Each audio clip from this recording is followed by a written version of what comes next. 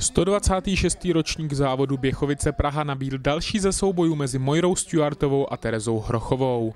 Obě favoritky se odpoutaly od zbytku startovního pole brzy po startu. Lépe se s desetikilometrovou tratí poprala reprezentantka Spartaku Praha 4, která cílem proběhla v čase 33.30 a dokonala tak svůj zlatý hetrik. Bylo to, bylo to těžké, no. myslím, že jsme to přepálili ten začátek, takže, takže ta druhá půlka byla taková protrápěnější, asi řekla. Hlavně ten kopec, no. Eh, od začátku bylo poměrně jasné, že to bude mezi vámi a Terezou Hrochovou, tak kde se ten souboj rozhodoval? Eh, na půlce, na občerstvovačce, protože my dvě jsme si šli pro pití, my jsme se šli občerstvovat a najednou ta skupinka kluků, se kterou jsme běželi, tak ty trošičku poodběhly a já jsem si je docvakla a myslím si, že Terka už se je nedocvakla, takže myslím si, že tam se to rozhodlo a tam se to zlomilo.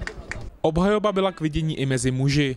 Pole favoritů bylo poměrně široké. Závod nakonec vykrystalizoval v souboj mezi Martinem Zajícem a Patrikem Vébrem. Tento duel se rozhodoval až v závěrečných pasážích tratě, kde ho pro sebe rozhodl brněnský Zajíc, jenž vyhrál za 30-41 a získal své druhé běchovické zlato v kariéře.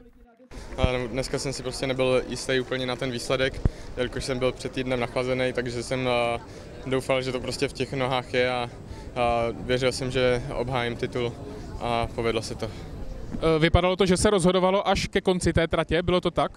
Bylo to tak, já jsem moc nevěděl, jak na tom je Patrik, protože to vůbec na sobě nedal znát v tom závodě, takže jsem nevěděl vůbec, co čekat, takže jsem se snažil prostě a jenom doběhnout a, a jestli to v těch nohách bylo, to už jsem potom viděl prostě ke konci, no, takže, takže tak.